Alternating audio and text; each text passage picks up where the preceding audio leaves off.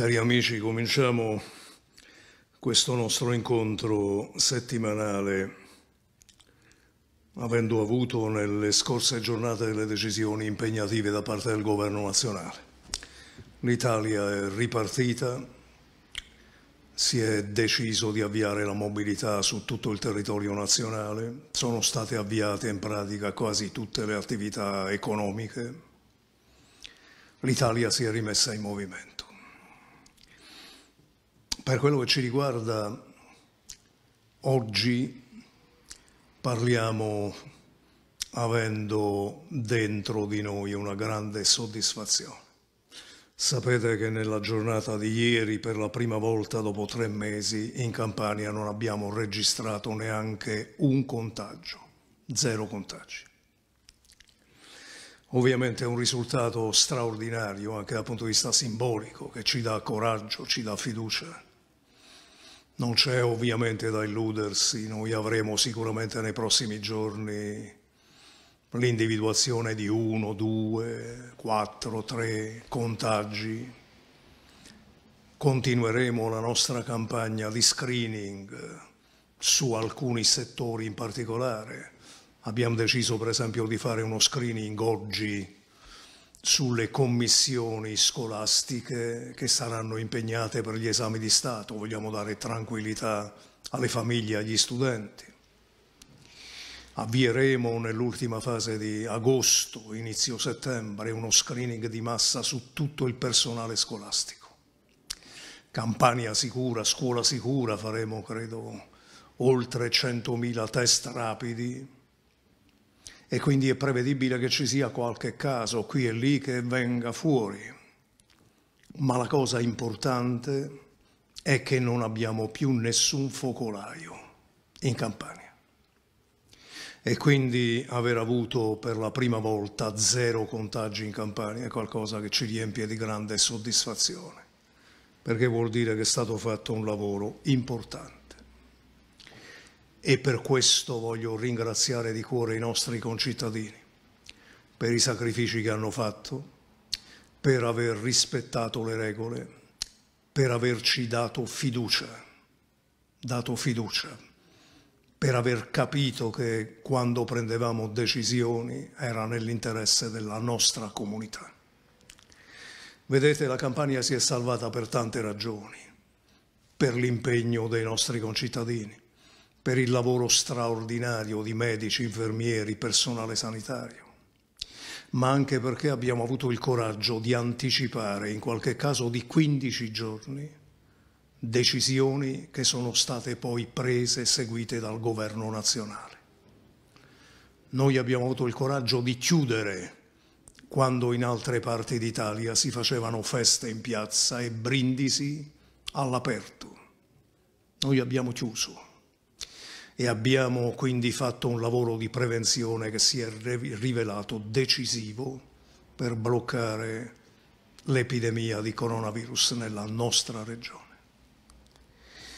Allora, oggi camminiamo davvero a testa alta come regione Campania.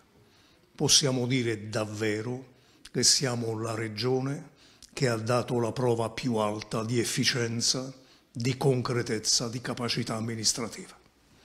Lo dico con sobrietà, ma anche con orgoglio perché davvero abbiamo fatto un miracolo. Ed è un miracolo doppio, ricordiamolo sempre, se teniamo conto del fatto che eravamo appena usciti dal commissariamento, che continuiamo ad essere la regione d'Italia che riceve meno risorse da parte di tutti, che ancora un mese e mezzo fa ho dovuto alzare la voce, diciamo così, perché non arrivavano in Campania, non dico i tamponi, non dico i reagenti, ma non arrivavano neanche le mascherine di protezione per gli operatori del 118. È stata una guerra. Bene, oggi, oggi possiamo guardare con fiducia al futuro, senza abbassare la guardia. Ve lo ripeto, avremo sicuramente altri casi qui e lì, ma non avremo più focolai. occorre mantenere alta la guardia, rispettare le regole, essere attenti ai nostri comportamenti. E vi avevamo detto che non avremmo perduto un minuto di tempo rispetto all'obiettivo che abbiamo, aprire tutto, aprire tutte le attività economiche, cioè arrivare a una normalità piena, aprire tutto ma per sempre, cioè avendo realizzato condizioni di sicurezza ragionevoli, per non aprire e poi chiudere dopo una settimana. Oggi mi pare che ci siano le condizioni per fare nuove aperture di attività economiche, per rilanciare ancora di più il nostro turismo.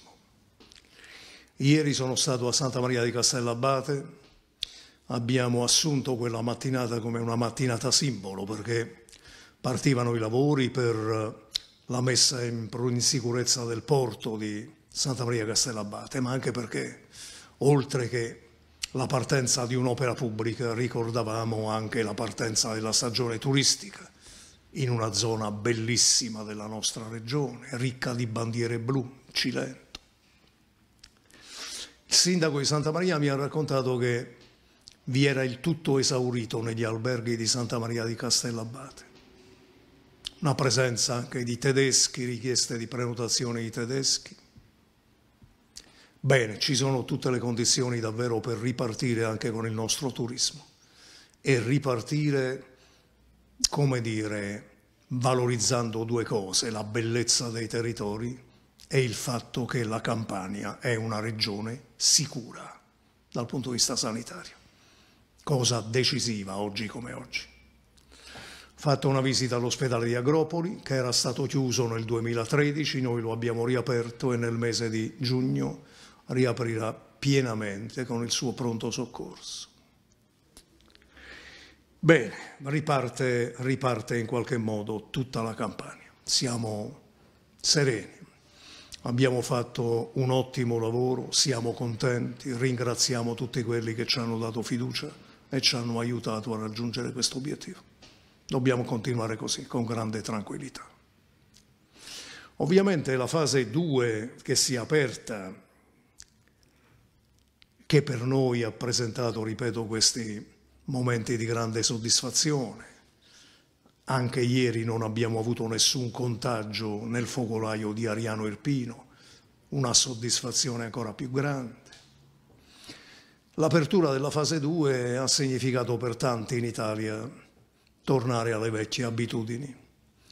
Ci sono soggetti che non si sono visti per due mesi, si erano nascosti che sembrano ritornare sulla scena per farsi un po' di pubblicità. Ci sono settori del mondo dell'informazione che sono tornati alle vecchie cattive abitudini, la principale delle quali è quella di non fare informazione ma fare campagne di aggressione mediatica. Ne approfitto per darvi una comunicazione che varrà anche per il futuro. Nel corso di questi due mesi voi non ci avete sentito fare polemiche nei confronti di nessuno, tranne che nei confronti di quelli che non ci mandavano i tamponi, le mascherine o nei confronti del governo per i soldi che deve dare doverosamente, non ci fanno nessun regalo, sono soldi nostri, alla Campania, sia per la sanità sia per altre vicende che riguardano il Ministero dell'Economia, ma non abbiamo fatto nessuna polemica con nessuno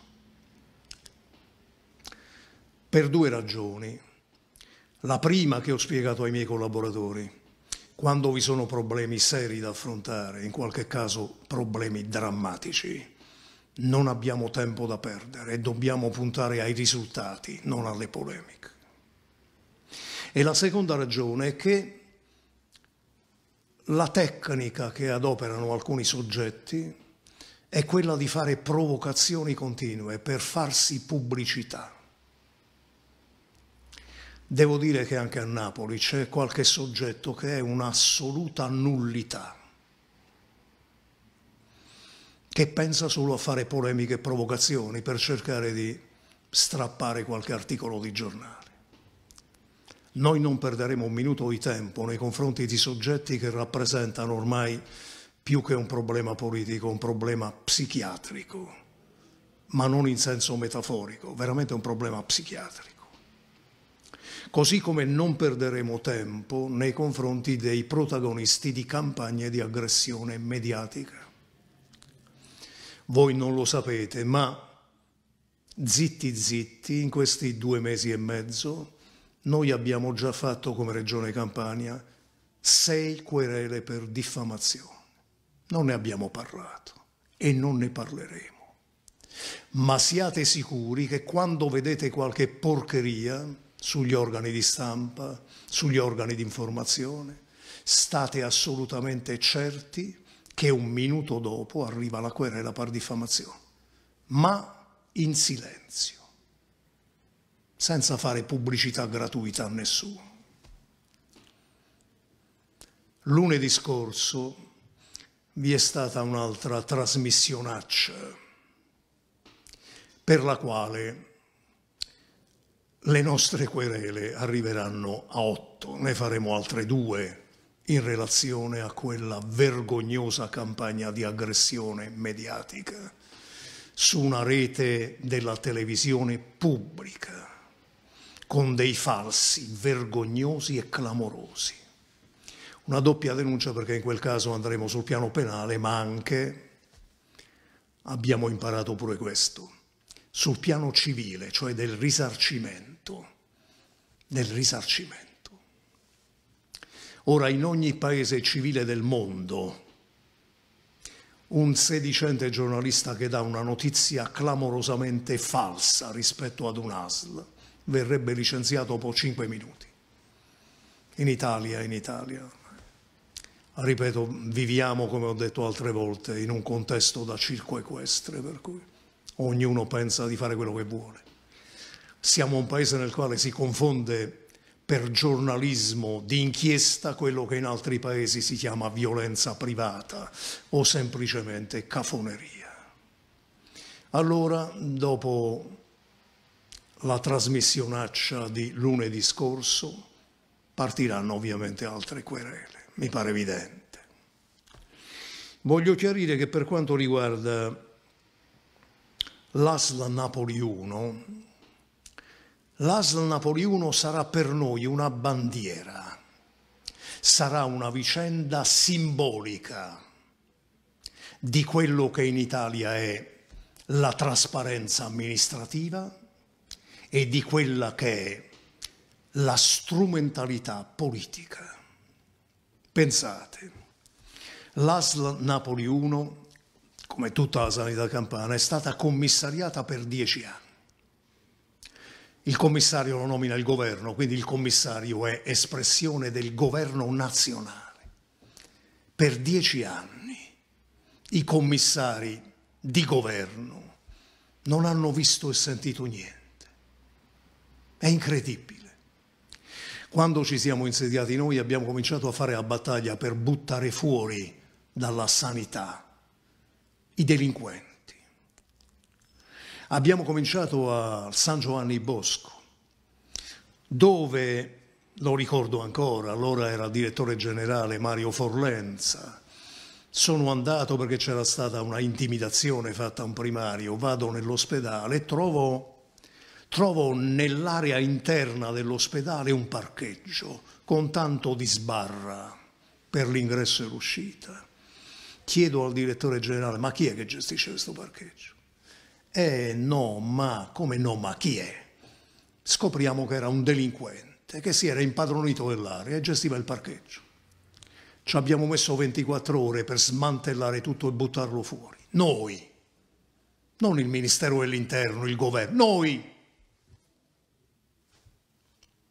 Dopodiché abbiamo proseguito con l'attuale direttore generale il lavoro di ripulitura, c'era la gestione del, dello spaccio interno all'ospedale.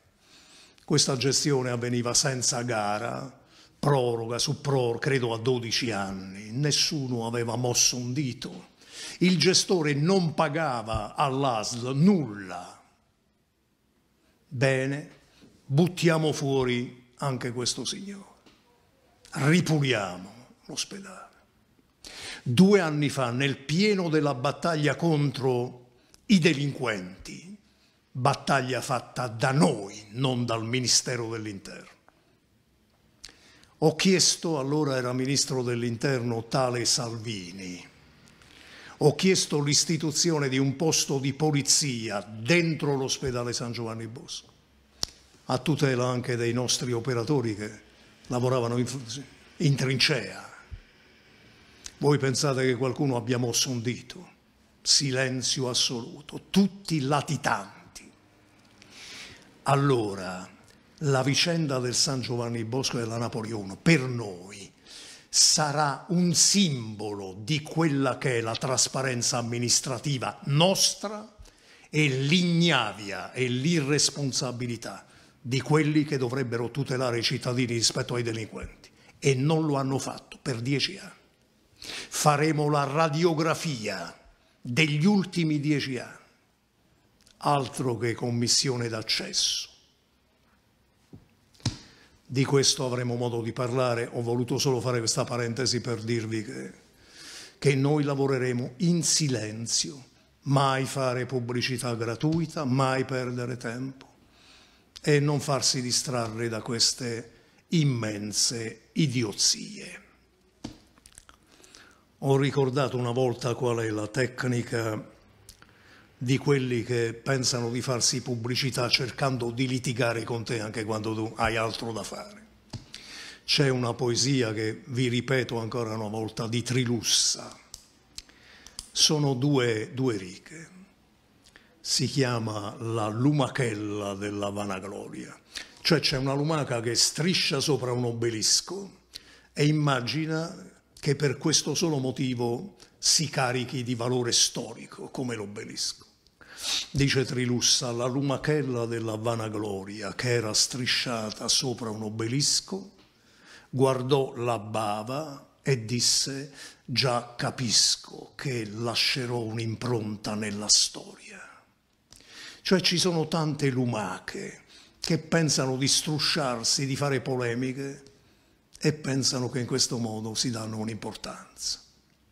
Somari sono, somari restano nullità sono, nullità restano. Chiudiamo la parentesi e pensiamo alle cose serie.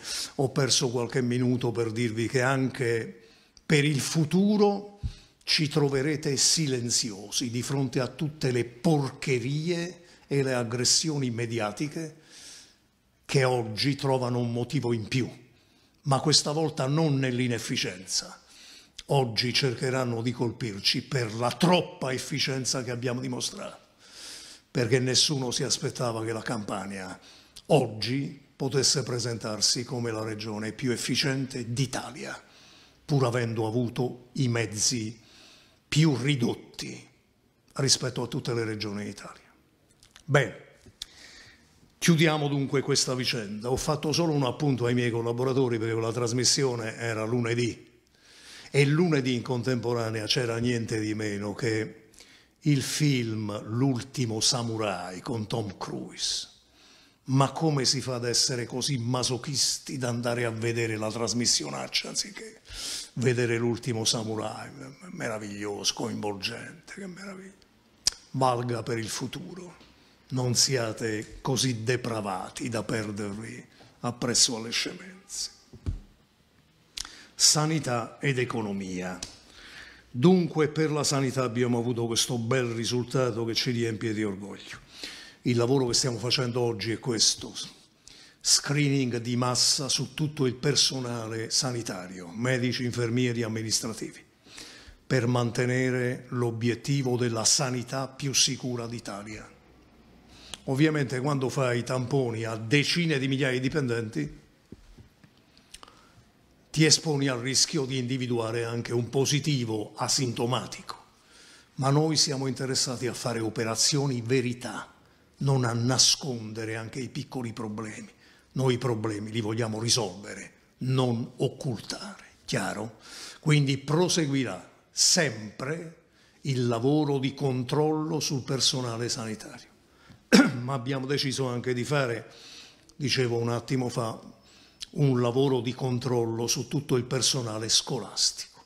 Cominciamo dalle commissioni di esame, ma poi il grosso del lavoro dovremo farlo alla ripresa dell'anno scolastico.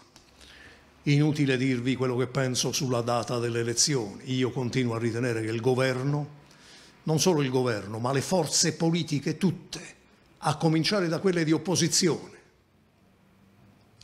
Abbiamo visto il 2 giugno una sceneggiata messa in atto dalle forze di opposizione, una vergogna. Almeno il 2 giugno, in un paese serio, parla solo il Presidente della Repubblica, punto e basta. Hanno fatto finta che era una manifestazione patriottica, quella era una manifestazione provocatoria, di divisione dell'Italia, altro che patriottica. Lasciamo perdere. Allora, la Lega in questo momento propone di andare a votare il 27 settembre. Siamo alla pazzia. I ballottaggi si dovrebbero fare a metà ottobre con l'epidemia influenzale, con l'anno scolastico che apre, poi chiude, poi riapre. L'ira di Dio.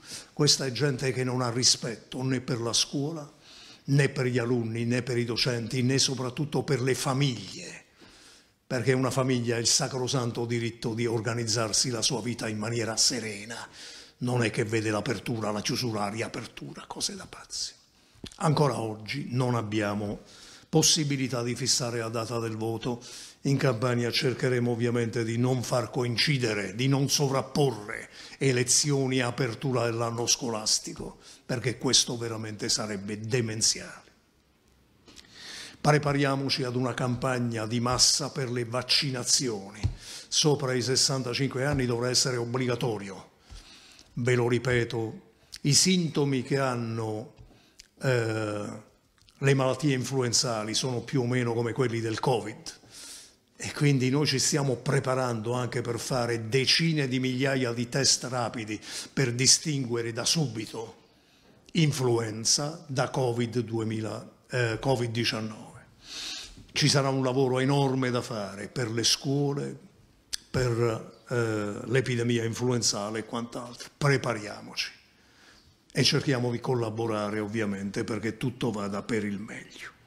Per il resto, dal punto di vista della sanità, stiamo lavorando ovviamente per una ripresa di attività normali negli ospedali e soprattutto per realizzare finalmente una rete vasta di medicina territoriale. L'ultimo capitolo, piano socio-economico della Regione Campania.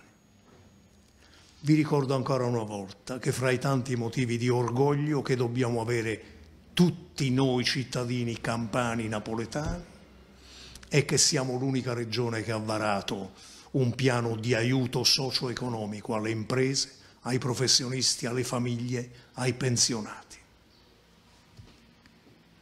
Non lo hanno fatto neanche le regioni ricche la Campania lo ha fatto. E la cosa straordinaria che ci dà soddisfazione, potremmo perfino sfottere qualche nostro concittadino del nord, è che quello che abbiamo deciso lo abbiamo realizzato in tre settimane. I soldi sono arrivati davvero.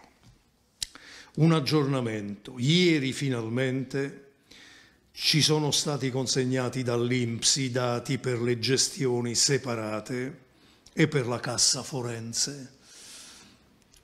Eh, mancavano 10.000 pagamenti da fare. Mancavano per questo motivo i 1.000 euro per i professionisti. Quindi dalla prossima settimana completiamo tutti i 62.000 pagamenti. Siamo già a 50.000, ma per questo motivo non ci arrivavano i dati. Per quello che riguarda le imprese, completiamo con gli ultimi 10.000 contributi, siamo arrivati sui 130.000 richiedenti, 130.000 piccole imprese, a 120.000 mandati di pagamento. È stata una cosa davvero straordinaria che abbiamo fatto. Per le famiglie con bambini al di sotto dei 15 anni, Abbiamo deciso un bonus, abbiamo già fatto i primi 26.000 mandati di pagamento, ogni settimana altri 20.000 mandati di pagamento. per i pensionati al minimo, come sapete, unica regione d'Italia. Abbiamo raddoppiato la pensione al minimo per, primi, per il mese di maggio per 230.000 pensionati al minimo, che sono passati da 450 euro più o meno a 1.000 euro. La stessa cosa avverrà per il mese di giugno. Ma si può non essere orgogliosi di questa iniziativa, oltre che dell'efficienza mostrata nel realizzare le cose decise. Per il piano per il lavoro noi completiamo in questo mese le prove concorsuali per quelli che hanno fatto ricorso, sono stati riammessi, non la faccio lunga. Fra eh, fine giugno e inizio luglio cominciano a lavorare 2.500 giovani che hanno partecipato al concorsone della Regione Campania. Cominciano ad andare sui comuni, stiamo verificando alcune cose che riguardano la, la possibilità di avere un distacco per chi già ha un lavoro e vuole avere, come dire, un livello superiore, per ragazze e ragazzi che sono stati selezionati ma non ci sono ancora i posti nella misura sufficiente, noi riteniamo che debbano essere inviati comunque al lavoro, sono dettagli che spiegheremo direttamente agli interessati. La sostanza, 2500 ragazze e ragazzi vanno a lavorare in 240 comuni della Campania e presso le corti d'appello di Napoli e di Salerno. Alla fine dell'anno faremo un altro concorso finché non arriveremo a 10.000 posti di lavoro per i giovani della Campania. Infine, Abbiamo detto alcune settimane fa riaprire tutto, riaprire per sempre. Ho anche aggiunto, noi non perderemo un minuto di tempo quando avremo condizioni di tranquillità sanitaria. Oggi abbiamo una condizione di maggiore tranquillità sanitaria e soprattutto abbiamo avuto una decisione del governo che ha aperto la mobilità in tutta Italia quindi diventa sinceramente assurdo tenere delle chiusure mentre si muove il mondo intero.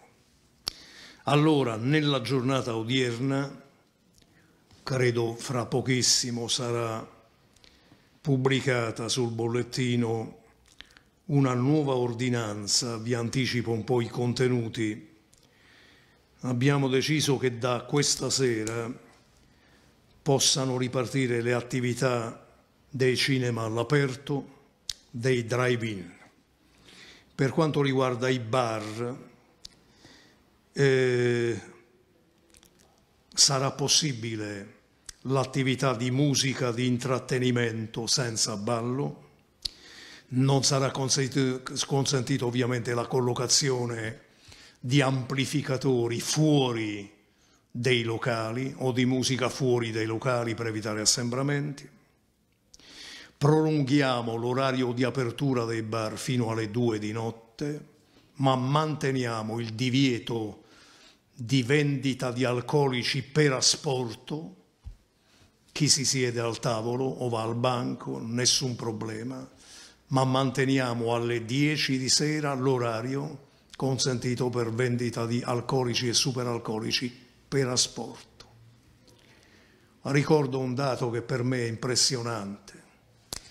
Prima del Covid noi abbiamo avuto nei mesi precedenti al Cardarelli 37 ricoveri per intossicazione alcolica e per coma etilico. 20 di questi 37 ricoveri riguardavano bambini dagli 11 anni ai 17 anni. Io penso che sia un dato che debba, debba far maturare una consapevolezza nell'animo di ognuno di noi, oltre che dei padri e delle madri di famiglia. Un bambino di 11 anni che va in coma etilico è una tragedia, ma si può rischiare la vita per il consumo di superalcolici.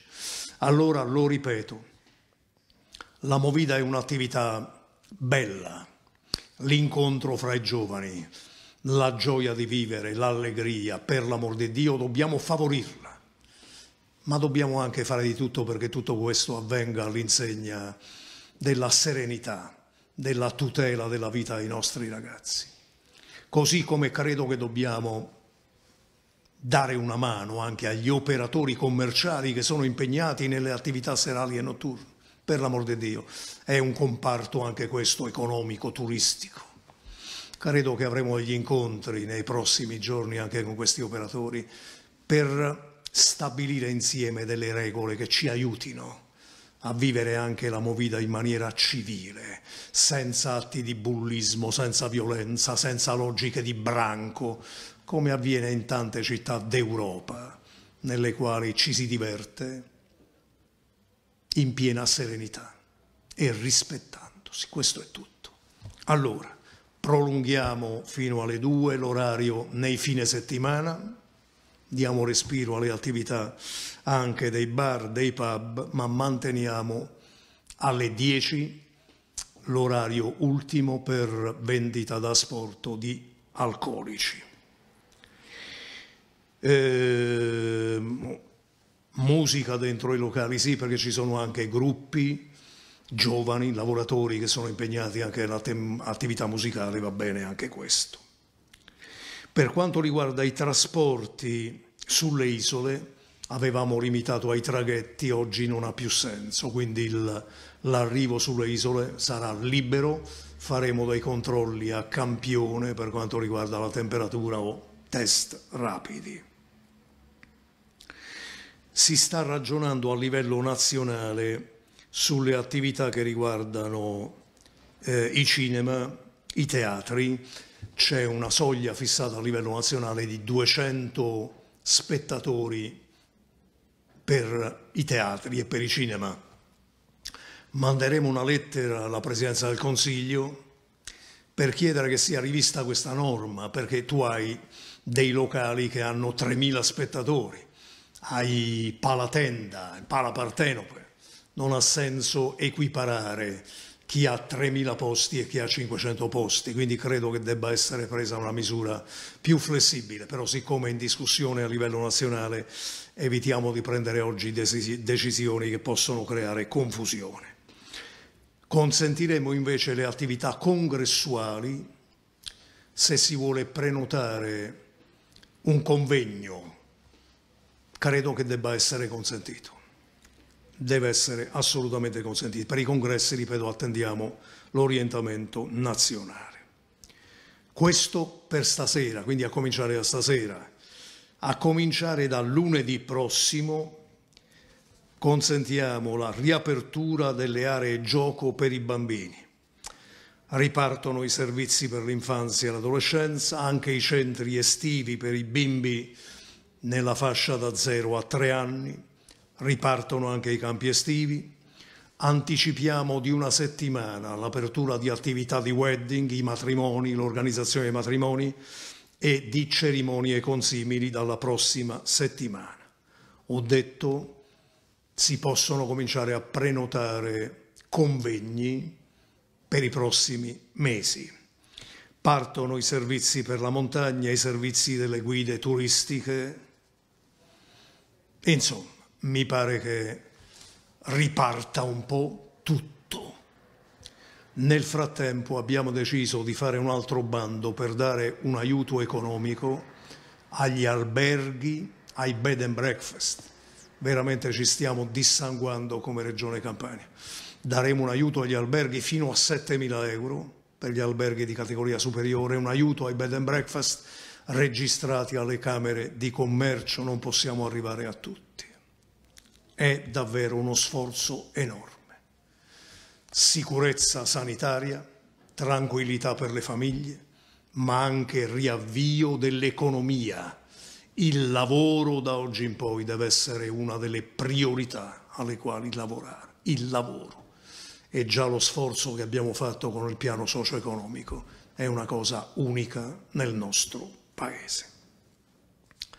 Avremo dunque incontri con le categorie nelle prossime settimane, cercheremo di stare vicino e di aiutare tutti i nostri operatori economici. Finisco. Dobbiamo essere consapevoli che il problema non è risolto. Stiamo respirando, riprendiamo le attività economiche, ma dobbiamo sempre essere consapevoli che il problema è dietro l'angolo.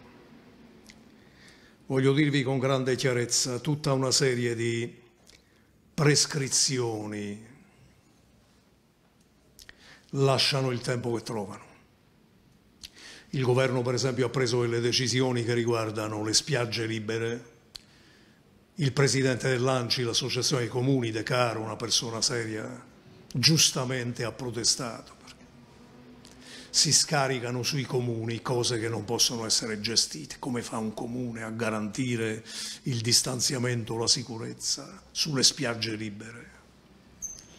Ora è evidente che non ci potrà essere un carabiniere, un poliziotto, un finanziere davanti a ogni locale, davanti a ogni spiaggia. È evidente che da oggi in poi sarà decisivo l'atteggiamento e il senso di responsabilità di ogni nostro concittadino. Questa sarà la garanzia migliore e in qualche caso l'unica garanzia di sicurezza per il futuro. Allora io mi permetto di fare appello ai nostri concittadini. Abbiamo fatto tanti sacrifici, avete dato un grande esempio di rigore, di tenuta, di impegno civile, continuiamo così. Verificheremo le prossime settimane anche l'uso delle mascherine, fermo restando che per i locali all'interno, per le attività commerciali rimarrà obbligatorio, così come sarà importante tenerle sempre anche quando non sarà obbligatorio. L'ordinanza nostra scade a metà giugno, vedremo le decisioni da prendere, ma intanto per la nostra tranquillità. Cerchiamo di, di essere prudenti. Sappiate che da oggi in poi quello che succederà non dipenderà dalle ordinanze e neanche dalle forze dell'ordine, dipenderà dal senso di responsabilità che ognuno di noi saprà mettere in campo. Io ho fiducia nel grado di di consapevolezza che i nostri concittadini hanno mostrato e credo mostreranno anche per il futuro. Un saluto e un grande abbraccio a voi e alle vostre famiglie.